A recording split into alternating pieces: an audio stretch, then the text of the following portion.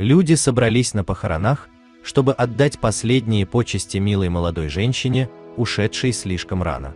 Но во время похорон в гроб внезапно ударила молния. То, что произошло дальше, просто невероятно. Марго не могла поверить в то, что услышала по телефону. Ее переполняли эмоции, слезы текли по ее лицу. Не замечая людей вокруг, она сидела в кафе и безудержно плакала. Именно тогда Лукас заметил ее и подошел к ней, чтобы предложить свою поддержку и спросить, что случилось. «Можно мне присесть?» – спросил мужчина и протянул Марго носовой платок. Она ничего не сказала, но взяла платок, и Лукас воспринял это как знак согласия.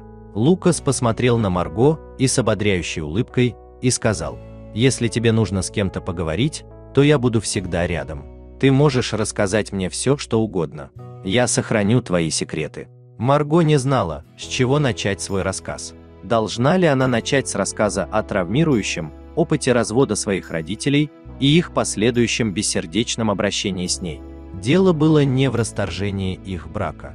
Скорее, то, что произошло потом, оказало неизгладимое влияние на жизнь Марго. Ни один из родителей не хотел брать дочь к себе. Единственным человеком, который был готов принять девочку и растить, была мать ее отца, бабушка Рене, которая жила в маленькой деревне. После того, как Марго переехала к бабушке, ей пришлось сменить школу, что только ухудшило ее положение. Другие ученики часто придирались к ней из-за того, что ее одежда и прическа были некрасивыми. Одноклассники проявляли к ней дружелюбие только тогда, когда им что-то было от нее нужно. Марго была образцовой ученицей, неизменно получавшей отличные оценки. Поэтому ее сверстники обращались к ней только тогда, когда им требовалась помощь в учебе.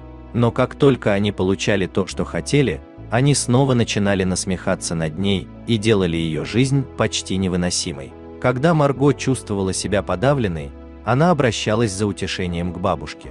Бабушка Рене всегда говорила, всему есть причина. Ты просто должна идти вперед. Прошло 10 лет с тех пор, как Марго слышала эти слова, но казалось, ничего не изменилось. Даже в свои 26 лет Марго, которая теперь жила в большом городе, по-прежнему получала отказы, и люди смотрели на нее свысока. Марго вернулась к реальности, когда Лукас повторил свой вопрос. «Все в порядке». Она кивнула, подтверждая, что проблем нет. Лукас был готов оказать любую необходимую помощь. В этом молодом человеке было что-то такое, что заставляло Марго чувствовать себя в безопасности. Возможно, дело было в его искренней улыбке и спокойном поведении. Открывшись ему, Марго всхлипнула и сказала, «Моя жизнь такая тяжелая. Я никому не нужна. Недавно один человек сказал, что любит меня. Но от того, что он сделал дальше, у меня болит сердце». Несколько месяцев назад Марго встретила Марка и подумала, что ее жизнь наконец-то наладилась. Марк был типичным плохим парнем. Он носил кожаные куртки, посещал вечеринки, много пил и часто ругался. Марго не нравились такие парни, как Марк, но она была очарована вниманием и заботой, которыми он ее окружал. Марк водил ее в клубы и на другие общественные мероприятия. Он заставлял ее чувствовать себя желанной и красивой. Через месяц таких отношений она допустила его плотским желанием. После этого Марго думала, что Марк по-настоящему любит ее, но когда она спросила его о планах на их совместное будущее, он начал отдаляться от нее. Это продолжалось несколько недель, пока Марго больше не смогла этого терпеть. Она пошла в бар, который Марк часто посещал, чтобы поговорить. Там она застала его целующимся с другой девушкой и пришла в ярость. Марго начала кричать. «Несколько недель ты игнорировал меня, а теперь изменяешь. «Почему ты так поступил со мной?» Марк раздраженно вздохнул и сказал, «Когда ты в последний раз смотрела на себя в зеркало, ты одеваешься как бабушка и такая же прилипчивая. Это потому, что в твоей жизни больше никого нет. С тобой было легко общаться. Это было весело, но теперь ты мне наскучила. Так что исчезни». Охваченная гневом и унижением, Марго дала ему пощечину, прежде чем выбежать из бара. Она забрела в переулок, где нашла укромный уголок и безудержно разрыдалась. Она чувствовала себя проклятой. Возможно, ей просто суждено было умереть, не исполнив желаний своего сердца, подумала Марго, но вскоре жизнь преподаст ей незабываемый урок. Всего несколько дней спустя Марго сидела в кафе, когда ей позвонили и сообщили, что Марк женится. Она чувствовала себя так плохо и безудержно плакала. И вот тогда-то Лукас и пришел спросить, что случилось. Ты должна научиться принимать себя такой, какая ты есть, иначе тебя никто не примет. Я знаю, как это сделать, сказал Лукас. В последующие месяцы Лукас учил Марго уверенности в себе, любви к себе и принятию. Он научил ее ценить себя и осознавать свою ценность. Он также отвез ее по магазинам за новой одеждой и подчеркнул ее лучшие черты, а также сделал стильную прическу, которая идеально ей подходила. Вскоре Марго заметила, что люди начали улыбаться ей и делать комплименты.